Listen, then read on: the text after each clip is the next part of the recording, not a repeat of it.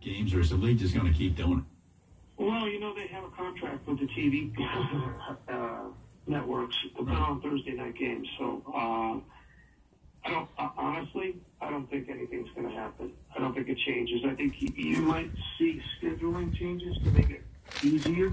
Sure. Uh, and I'm, I'm sure that's something that will come up in the league meetings uh, when these guys get together in the spring. They'll, you know, you know, figure out this way that the schedule can accommodate these players because it's so right. hard to turn around. And, you know,